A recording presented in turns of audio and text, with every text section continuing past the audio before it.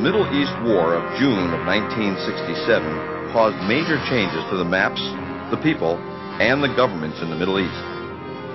The early morning of June 5th exploded with the surprise attack of the Israeli Air Force on the Egyptian airplanes on the ground.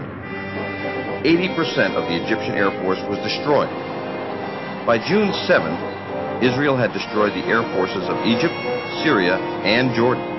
They had control of the Sinai Peninsula, Jerusalem, the West Bank, and Gaza. On June 8th, the USS Liberty, America's most sophisticated intelligence ship in 1967, was attacked by Israeli air and naval forces in international waters 13 miles off of El Arish in Sinai. 34 Americans were killed. 172 were wounded. The Israeli and American governments pronounced the attack as a case of mistaken identity. Issi Rehar was the chief of Israeli naval operations.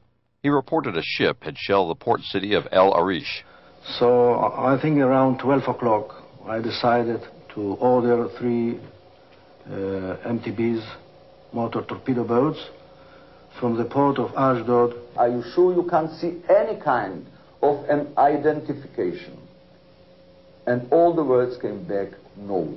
If you will be sure that it is a military ship, you can hit it. The first Mirage pilot radioed, oil is spilling out into the water. Another added, great, wonderful, she's burning, she's burning. And El Arish commander reported, he's hit her a lot, there's an oil slick in the water. Then headquarters asked, Menachem, is he screwing her? The next wave was Super Mystères with thousand pound bombs and canisters of jellied gasoline. Someone in Southern Command called, he's going down low with napalm all the time. The flight leader noted, it would be a blessing if we could have iron bombs, otherwise our Navy's going to get here and do the sinking. A pilot interrupted, pay attention, the ship's markings are Charlie Tango Romeo 5. There's no flag on her. And headquarters ordered, leave her. The time now is 1412, and he says, I see CTR 5. And the minute we hear that, the Air Force stops all operations and says, all our aircraft, all our attack aircraft, please stop. I must say that at that point in time, in my mind, it was an American ship. But that opinion was not shared by the commander of the torpedo boat squadron. He believed it to be a small Egyptian freighter, the El Qasir. We told him uh, there are some doubts about identification. These doubts, incredibly, did not reach the commanding officer who ordered the torpedoes launched. That the order did not reach the commanding officer on the bridge where you launched the torpedoes. At about the range of uh, 1,000 yards, or a little bit more than 1,000 yards, I ordered to prepare the torpedoes and uh, ordered that uh, uh, all commanders will take the uh, action of uh, firing torpedoes. This is the story of the attack on the Liberty told by Israeli and U.S. government sources. Now, we are going to show you what really happened. The survivors of the 294 man crew of the USS Liberty will tell you their story.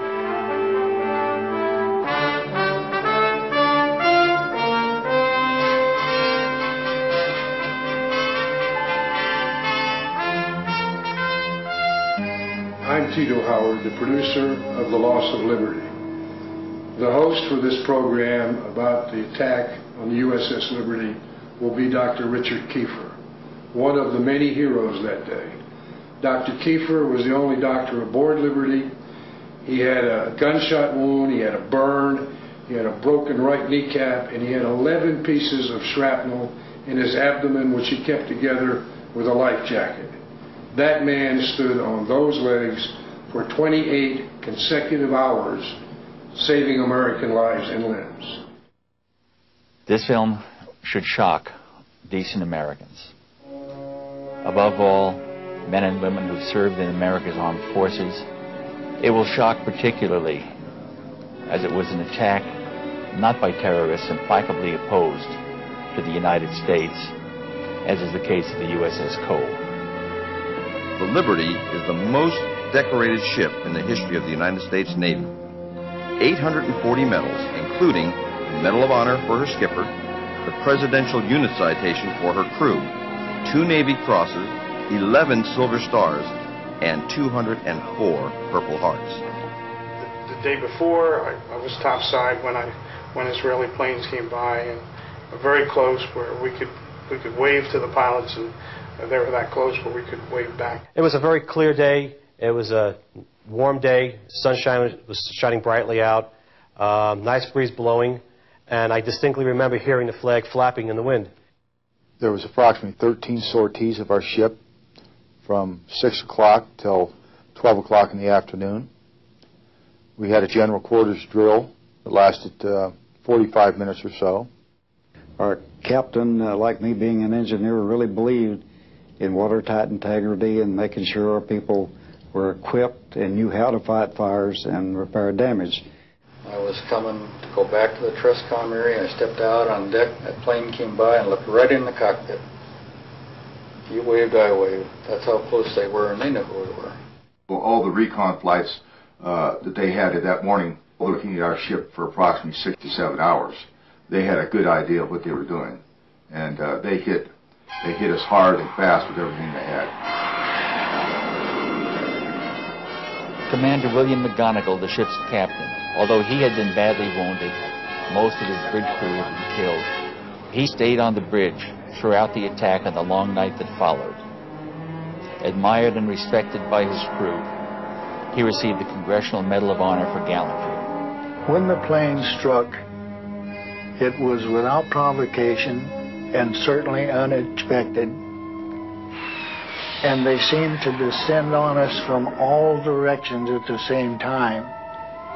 Those rockets and machine guns tore the ship. It killed men on deck. And we were defenseless. I heard this big bang, and there was bullet holes all behind in the cushions of the couch that I'd just left. And by the time I got to the door of the wardroom, the skipper was on the PA system that we were under attack by unknown forces, man your battle stations. Then the regular general quarters sound alarm went off, and right across the hatch from the wardroom is where I would go through down two decks to my station. When I went through there, there was one rocket that came through and helped me to get down two floors in a dead burn hurry. When I got up off my knees down there, well, we were uh, well under attack. And uh, the skipper again was on the uh, phone system telling uh, auxiliary radio to get word out to anyone that they could that we were under attack by unknown forces and we were in need of help. My reporter station uh, was Radio Central. It was my responsibility to keep up, you know, ship to ship or ship to shore communications. And uh, out on deck in Radio Central, we were taking rounds through the bulkheads. There was a two 55 gallon drums of gasoline just outside the bulkhead on the 01 level that had caught fire from the strafing run. And that was uh, heating that outside bulkhead and peeling the paint off on the inside. There was a lot of smoke in the compartment. There's holes where we were taking rounds where the sunlight shining through, and it was a real surrealistic look. I was topside fighting fires and doing other damage control work throughout the duration of the attack. At the same time, I was able to observe the jets flying overhead, and I also observed the American flag flying from the mast. At no time did that flag hang limp from the mast. I was one of the two signalmen on uh, the USS Liberty uh, when the ship was attacked, and uh, my only job uh, during the attack was to make sure that uh, that the flag was flying. So uh, every few minutes, I would walk out at the signal bridge up at the mast. And fighting what fire we could with what little water I could give the people topside for the fire, uh, it was really a problem. That on the first pass they knocked out our our ability to call for help. The one remaining antenna, which I had shut down because it had some problems in the tuner, is probably why it didn't get hit.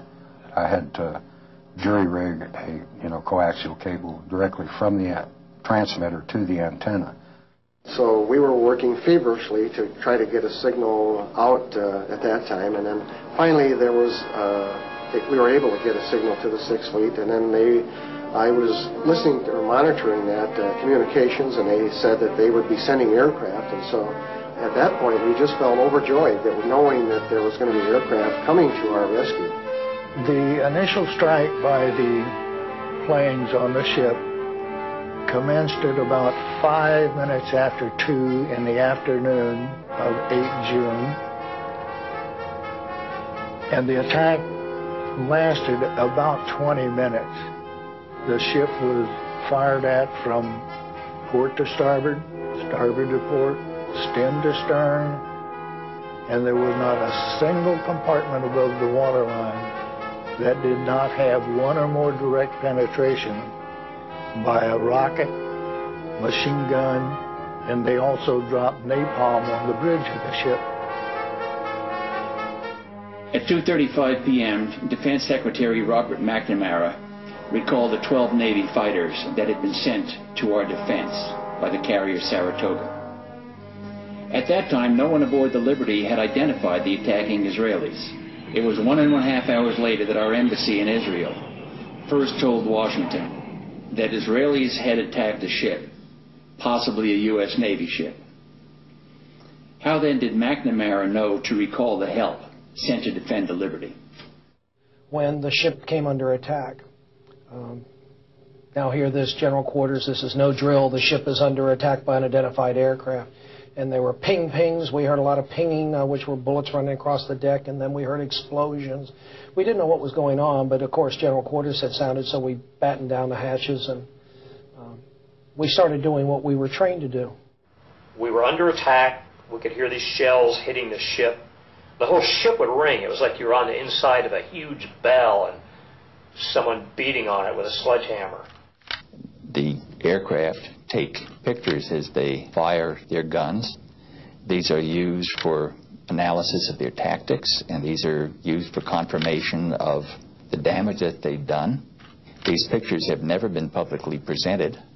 Lieutenant Ennes was sitting on the deck, and there was blood coming out of his mouth, and his knee was was damp. Uh, he had an injury in his knee, and there was blood coming out of it. Lieutenant Toth had got blown off, I think the 04 level, but I come across him and he was just peppered from head to toe with shrapnel. And I covered him up with a blanket. My brother, he was sent to um, on the bridge of the ship to find out what was uh, who the planes were, where they came from. They had no markings. That's against the Geneva Rules of War right there. Uh, he received a Silver Star for his efforts. Um, he was cut down by the planes. The captain, initially after the attack, sustaining a shrapnel wounds in his knee, and somebody put a, a tourniquet around his leg, and I got coffee. I think about five cups of coffee went down the captain to keep him going. It was impressive because with all the blood loss and everything, he was he was going all night long. A short time after the air attack had been completed, the three torpedo boats approached us from our starboard quarter at high speed and in an apparent torpedo launch attitude. The three Israeli torpedo boats fired six torpedoes at the Liberty. Because of Captain McGonagle's handling of the ship, five missed. Intelligence base was destroyed. 25 American sailors died almost instantly. This hole in the side was uh, in excess of 40 feet in diameter. You could put your whole house in that hole. And we were right in the middle of it. We couldn't believe what we saw. You couldn't walk around that part of the deck without stepping on a piece of someone. In fact, Phil Cherney and myself had found a shoe with a foot still in it. I do remember the, the alarm for standby to abandon ship. Don't leave your station yet. They were getting preparing to and then that was called off because apparently the life rafts had been shot up. So there, if you went in the water, you were on your own, and the list on the ship was considerable. You could tell it, it looked like at first we were going to maybe roll over. The lights went out, and the ship rolled over, and I figured, well, it's the end. The torpedo had hit the side of the ship of the room I just stepped out of, killed every man in my division that was in there. Um, this fellow first class that I mentioned, he was on the phone at the time just outside the door. It took off the back of his head. Um, it broke my lower left leg, both bones, collapsed my lung, broke ribs, fractured my skull, blew out my eardrums. We took the guy uh, down down below, and I don't know how many runs I made up and down, you know, carrying wounded. And I saw all the bodies laying there on the tables at where Dr. Kiepfer had been working on. And I was told that he was in the officers' wardroom operating on more people. 34 were killed, another 172 were wounded. The care of these people was done by myself with the assistance of two corpsmen. The corpsmen did many things of minor surgery and I just had so much to do keeping people together, keeping their limbs attached to their body. We were in international waters. It was a beautiful day. You couldn't mistake us, and our, and our flag was flying for crying out loud. They were going to there to kill us, and it just didn't didn't register that here they were Israeli uh, people, and they were going to try to kill us. It was just a very very appalling situation.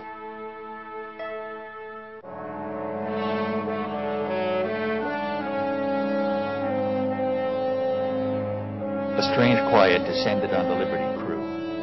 After the explosion, the pounding of machine gun bullets slowed and stopped. Fires were put out. The stunned, angry, and exhausted crew caught their collective breath. Limping at five knots toward sanctuary several hundred miles to the north, they had somehow survived one of the most ferocious sustained attacks ever on an American ship. 34 were dead, 171 were wounded. All survivors had mental scars. There is not one single life raft. The wounded are treated. Sailors remember that they were promised help. They expected that help. That help in the form of phantom jets from the USS Saratoga was on its way. It never arrived. It would be the next morning, 17 hours after the attack began, before they would see an American face. Finally, the USS Davis and later the USS Massey came alongside the Liberty. Many of their sailors wept as they boarded the Liberty, saw open decks stained with American blood and parts of American bodies on the deck. Helicopters from the USS America arrived several hours later to medevac the most seriously wounded Liberty sailors back to that carrier. The air attack by two squadrons of Israeli aircraft, French-built Mirage 3s and Super Mystères, 821 rocket and cannon holes were found in the Liberty. Canisters of napalm had torched the ship. After the ferocious air attack, Liberty was pounded by three Israeli torpedo boats. One of their six torpedoes struck the Liberty, left a gaping hole at the water line. There were thousands of holes from armor-piercing machine gun bullets. They sank life rafts, shot at firefighters and stretcher bearers at the bridge and into the engine room. Dr. Kiepfer and his pharmacist mates performed in heroic fashion, as did all of the crew. About the same time, Israeli land and air forces attacked the Golan Heights in a well-planned and executed strike. The attack, the recall, the jamming, the pounding, the torpedoes. Somehow the Liberty survived. And almost immediately, the second part of the outrage, the cover-up by the Israeli and the American government, began. I had to go to work at midnight, and I'm trying to sleep. You know, I'm just thinking about how we had been so shafted by our government, the Israeli government, told to shut up, no chance to talk to one another. And it just, it angered me. It really, really angered me. On the day of the attack, I tried to coordinate communications. The Israelis had taken out all of our transmitting antennas. My RMs, not knowing any better during the strafing runs, were stringing long wires so that we could get an SOS out. And thanks to them, the ones that survived, we did get an SOS out to the USS America. Without George Golden, the ship would have sunk. Had it sunk, I assume when debris washed ashore the next day, it would have blamed, been blamed on Egypt. Many, many miracles that day. I shouldn't be here. After watertight integrity had been established and the hatch had been sealed, they reopened it as I floated by. Uh, Buddha Schnell, Bud Schnell, went down and pulled me out. I'm not supposed to be here. None of us should be alive today. Much to my dismay, I personally witnessed the machine gunning of life rafts as they floated by the Israeli torpedo boat crew members, raked the life rafts thoroughly with machine gun fire, making sure that if there had been anyone in the life rafts, they would, have, they would not have survived. After the Israeli torpedo blew a huge hole in the Liberty, the last three life rafts were put over the side. Israeli torpedo boats sank two of those rafts, took the third aboard. We were left with no rafts, nothing that could float. Shooting life rafts on a ship in distress is a war crime. Worst of all is what our government is doing to cover all this whole thing up. Um, when I heard that um, Johnson, in the heat of the battle, was uh, telling the Admiral Geis of the uh, Sixth Fleet that he didn't give a damn if every man drowned and the ship sinks. He said, I don't give a damn if every man drowns and the ship sinks. I don't want to embarrass our allies. That made me sort of wonder, with unmarked planes, how did he know it was our allies? So we should have had planes on site 45 minutes into this two-hour attack, and they never showed. So did Israel apologize and then continue to attack us for an hour and 15 more minutes, or were we being lied to as to the conditions of why they recalled the planes? And because of the top-secret operation of Liberty and it being um, the sensitivity of it being Israel, our closest ally, who accidentally attacked the ship, that we are ordered uh, not to grant any interviews. You know, don't discuss this among yourselves, referring to the attack.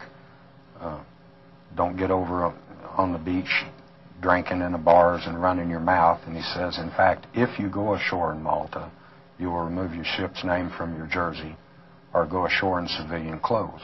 Well, another light goes off in my mind. Here's a flag admiral in the middle of the gung-ho Sixth Fleet telling enlisted men to go ashore in civilian clothes that we're not even authorized to possess. And he says, you know, so that we won't be singled out and uh, be asked questions about it. And he says, don't discuss the attack among yourselves. Don't write your friends back home about it. He says, in fact, when you get back home, don't even discuss it with your wife and family. And he said quite sternly, just forget it ever happened. And he says that uh, repercussions for violating these orders to silence could result in your court martial, imprisonment for violating national security, or worse. I noticed a very large helicopter uh, with Israeli markings hovering very close to us.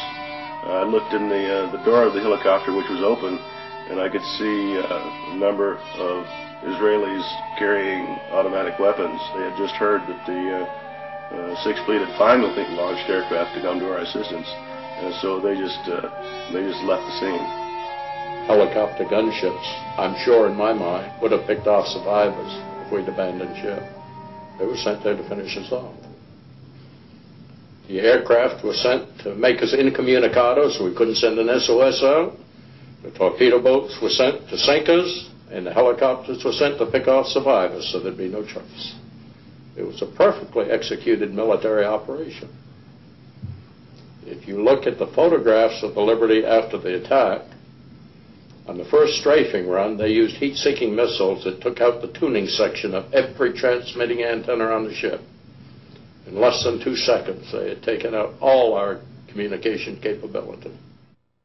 The attack on the USS Liberty lasted as long as the attack on Pearl Harbor, about two hours. You've heard the outrageous, implausible Israeli version of the attack on Liberty, told by their first-hand observers.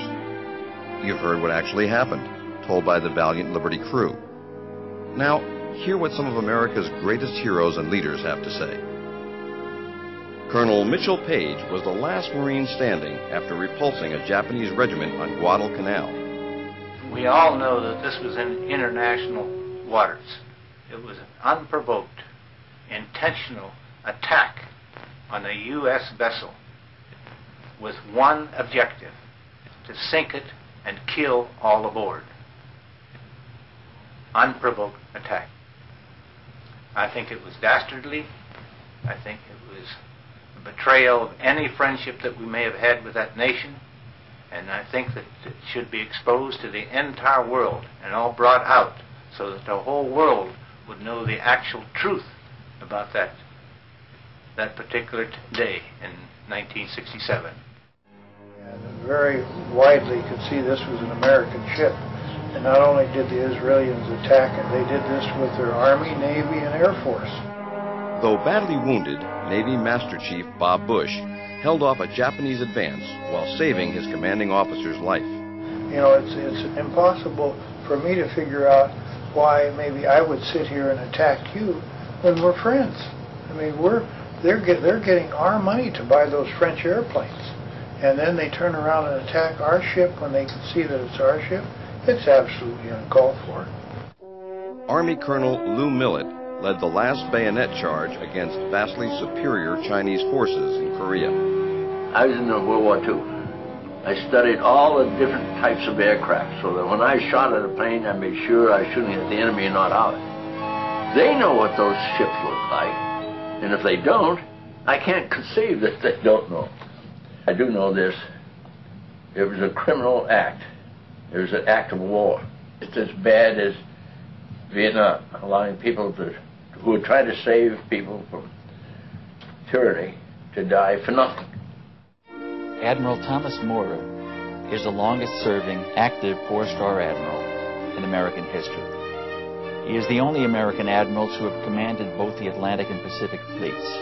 He was head of NATO forces, served as chief of naval operations, and chairman of the Joint Chiefs of Staff for two terms.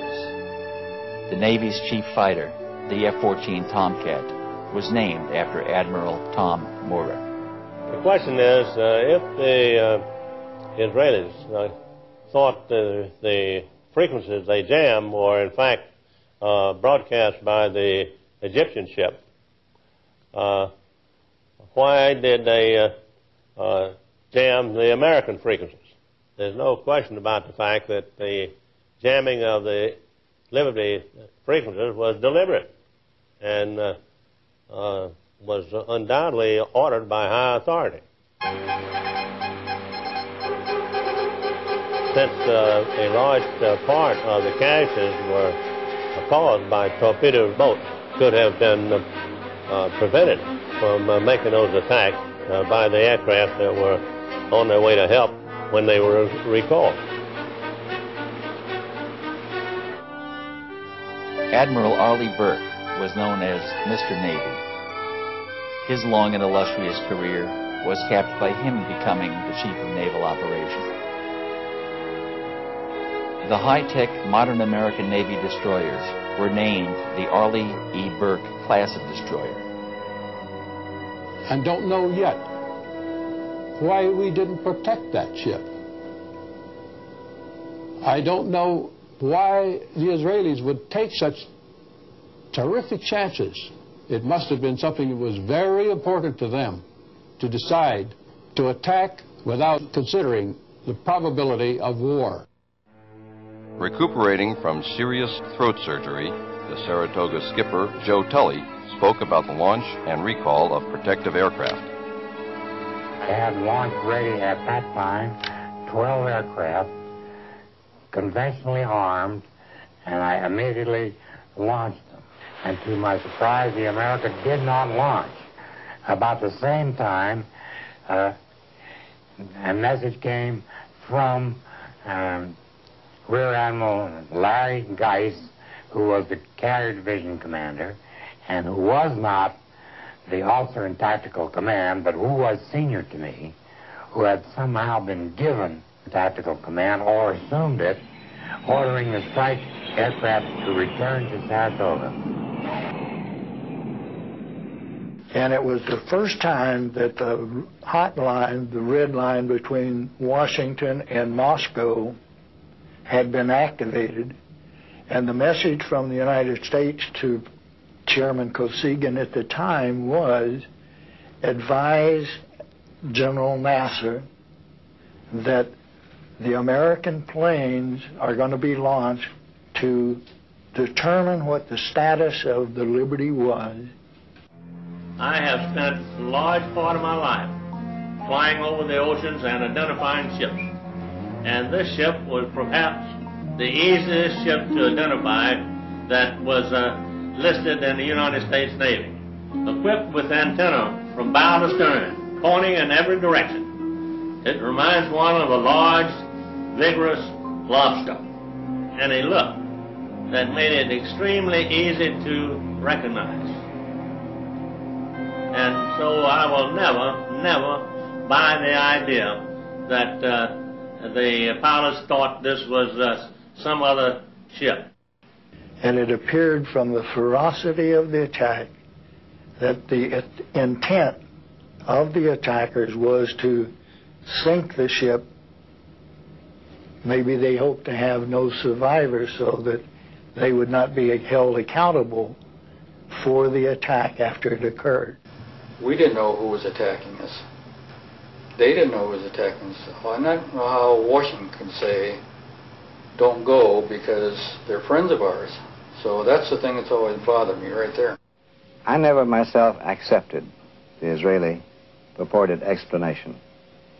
Um, accidents don't occur through repeated attacks by surface vessels and by aircraft. It obviously was a decision taken pretty high up in, on the Israeli side because it involved combined forces. Um, the ship was flying an American flag. Even if it had been unidentified from a, an, an Israeli point of view, uh, it was a reckless thing for them to do. Suppose it had been a Soviet ship. In fact, it produced very large problems indeed. George Ball, the brilliant and courageous Undersecretary of State at the time of the 67 war, wrote about the attack on the Liberty subsequently. He said, The ultimate lesson of the Liberty attack was that it had far more effect on policy in Israel than in America. Israel's leaders concluded that nothing they might do would offend the Americans to the point of reprisal. If America's leaders did not have the courage to punish Israel for the blatant murder of American citizens, it seemed clear that their American friends would let them get away with almost anything.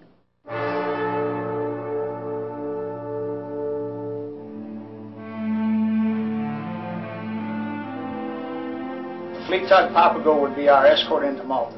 The divers rigged a large canvas over the torpedo hull and it was secured in place using ropes that were passed under the hull and over the main deck.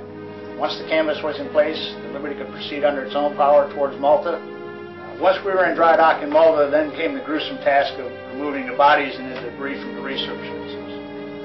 Uh, I was unfortunate enough to draw the first shift as part of our division, which would be used to cut the debris uh, away from the bodies so they could be removed from the research vessels. The first body to come out was almost unrecognizable. Due to being in salt water for six days, the body was almost completely hairless.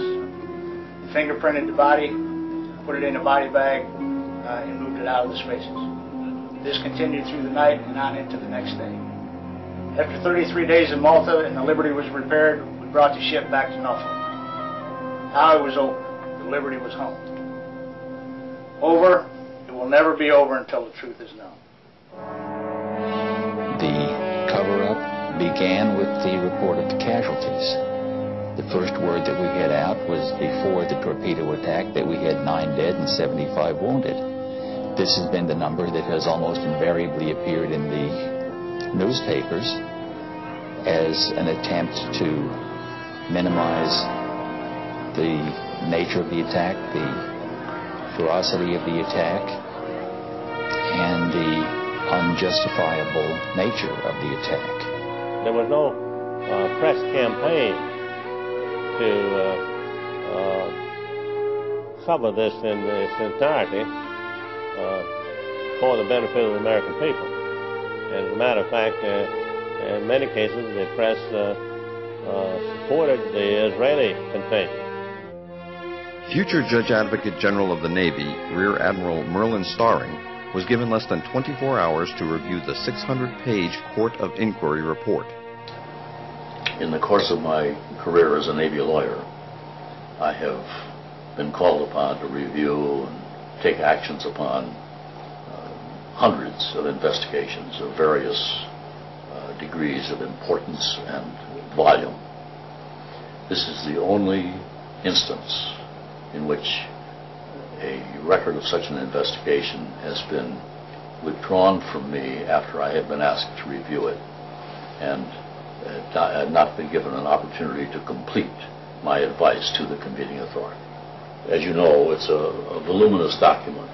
And one of the things that uh, I initially had difficulty with, and still do, is the fact that the very first statement of fact that the court arrived at and presented was this. Available evidence combines to indicate the attack on Liberty on 8 June was in fact a case of mistaken identity.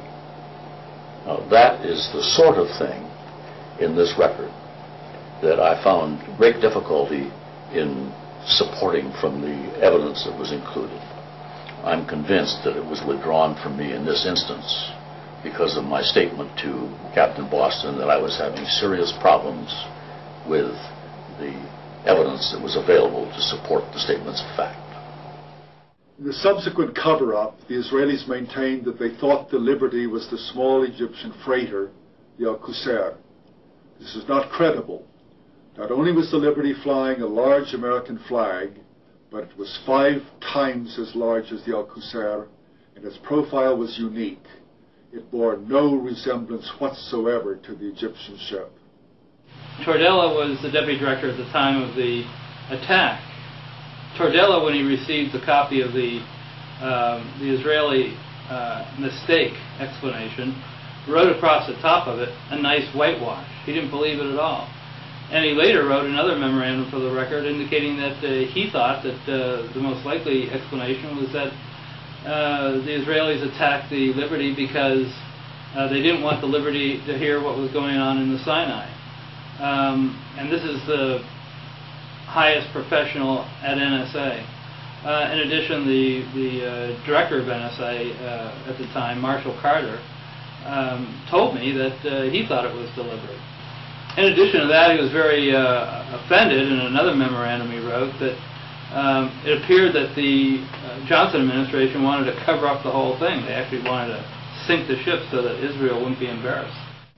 Admiral Kidd, uh, when he came aboard our ship to interview the survivors, uh, he got us in small groups, three or four or five sailors, and he would ask us questions. The first thing he did is uh, he took off these stars, laid them on the table, and said, "Listen, open up to me and talk to me just like her. I'm just one of, just like you, one of you. So we did. We trusted him. We opened up with our hearts. We told him exactly the way we felt, what happened, what we saw. And when that was done, he put his stars back on, on his lapel, and he ordered us not to say anything to anybody, our families, friends, shipmates, anyone. If we did, we faced the possibility of a court martial, penitentiary, or worse. And everyone knew what worse meant. Actually, he scared the death out of me. I didn't talk about the attack to anyone for almost 20 years. Not knowing why they did this and, what, and not having our government back us then and now. It's, it's an open sore. It's, uh, it's, festering uh, to this day. It's not going away. I think it's important that we do have an investigation. I, I would never give up on that until I'm too old to come to these things. It needs to be done. Pete Bucher from the Pueblo said he wouldn't even have gone if he could have known what really happened to us. All he knew was some piddly little thing he heard about on the news. In late 1991, Dwight Porter, who was ambassador to Lebanon during the 1967 war, told columnists Evans and Novak that immediately after the attack on the Liberty, the CIA station chief handed him intercepted messages between the Israeli war room and their planes. The pilots were given orders to attack the ship, and they replied immediately that it was an American ship. The Israeli headquarters responded, You have your orders, attack the ship. The pilots tried once again, but it's an American ship. We can see its flag. And headquarters insisted, You have your orders, attack it. And attack it they did, and the consequences are well known. So one of the things I found out was that uh, that had never been discovered before uh, was the fact that at the time the Liberty was attacked, the NSA also had an eavesdropping plane flying high above the scene of the action. It was an EC-121, and uh, during the entire course of the war, the U.S. Uh, had uh, eavesdropping planes going over the um, area, collecting signals, eavesdropping on what was going on below. And this plane was uh, flying right over the scene of the attack. And I talked to two of the crew members of the plane, and both of them agreed that the, what they heard were comments from both the pilots and the torpedo boat uh, uh, personnel uh, mentioning the U.S. flag. Uh, now that flies in the face of what the Israeli explanation says. The Israeli explanation says nobody on either the planes or the ships ever saw a U.S. flag. Evans and Novak got further confirmation of the Israeli attack from an American-born Israeli major, Seth Mintz, who was in the Israeli war room at the time of the attack. He told the reporters, quote, Everyone felt that it was an American ship and that it was the Liberty. There were comments about the markings, about the flag. Everybody in the room was convinced it was an American ship, unquote. Mintz told Evans and Novak that the Israelis were guilty of an outrage. True. But the American suppression of the truth was an equal outrage. Well, at the time, the Liberty was off the coast of the Sinai, off the coast of uh, um, where El Arish was on the uh, Sinai Peninsula. Um, according to Israeli uh, military historians uh, who, who, wrote reports of it at the time uh, and other eyewitnesses, the um, Israeli military was uh, killing prisoners, Egyptian prisoners, uh, committing war crimes, desperate acts of, of war crimes in order to uh, so they wouldn't have to transport the prisoners because they had no place to put the prisoners. They decided to take the most expedient, uh, expedient method and, and just kill them. If the planes dispatched by the Saratoga had continued to the rescue, the Israelis would have been driven off. But Washington took the Israelis at their word. They said they had recognized their error and they apologized. And the attack had already stopped, they said, but they were lying. The attack continued for another hour and 20 minutes, during which 25 more American sailors died and 110 more were wounded. All would have been spared if the American planes sent to help them had not been recalled by Washington. The point was the attack did take place. There were a lot of reasons that the Israelis would have wanted to hide things from the U.S., and that's why there is a need for investigation. Um, I mean, you're not going to take the, the word of somebody who was uh, the principal person who caused it. Uh, that'd be like uh, taking the word of a defendant in a, uh, in a, in a shooting. Every one of the thousand odd clashes between Syria and Israel between 1948 and 1967 was examined by the UN Supervisory Commission, which found out that only a very, very few had been caused by the Syrians. A few dozen of the clashes were ambiguous, and all of the rest were caused by Israel. Well, there were many officers of many nations, and they all report the same thing. Could they all have been lying? Still, we no longer have to rely only on the UN documentation. Moshe Dayan, who commanded the Israeli forces in 1967 and had given the order to occupy the Golan, gave an interview to an Israeli journalist in 1976. The interview was kept secret until April 1997, when it was published in an Israeli newspaper. It has been authenticated by Israeli historians, and General Dayan's daughter, Yael, a member of the Knesset, insisted that it be published. Why did he give the order? To invade.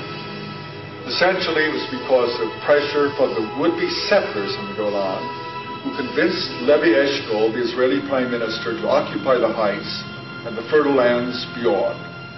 And when asked if that were all there was to it, Dayan replied, I can tell you with absolute confidence that they were not thinking about security. They were thinking about the Heights land. I saw them. I spoke with them. They didn't even try to hide their greed for that land. The best one is the one where they wanted to Golan Heights. And Johnson said, that's enough, that's enough. And they needed another day to get the Golan Heights, which they still have, which I didn't think you were supposed to do, take land from another country and keep it. If we could get the truth of the liberty out, that it would change history, I think, in this country. I cannot, absolutely can't see why our American newspapers and TV people have helped to cover this up, but not covering some of our stories. The Navy Board of Inquiry would not admit testimony about the jamming, the recall, the unmarked planes, the shooting of life rafts, and other material that we tried to present. They asked questions. We were allowed to answer those questions. Period. They put me into a ward with 12 to 13 other patients. And within 30 minutes, they removed me from that ward and put me into a single room. I noticed that I had a name tag with Smith on, and right after I noticed that, an officer came in and told me that from now on my name is Smith. I was never on the Liberty, and I was never ever to talk about it to anyone. I still have 53 pieces of shrapnel in me today. Never before has the U.S. Navy ignored eyewitness testimony of American military to accept on faith the story told by their attackers. Certain entries in the ship's log of June 8th have raised serious questions. There, nobody knew who was wounded or how severely. This had not been established until days after reaching Malta. The log also minimized the duration of the attack by over an hour and a half, conveniently fitting the Israeli version. It then documented the number of wounded not as the actual 172, but at the widely published media figure of 75. It should be a congressional committee, both Senate and House, to examine all the data available. And it's, it's getting late to do this because, like McGonagle, God bless his soul, is gone.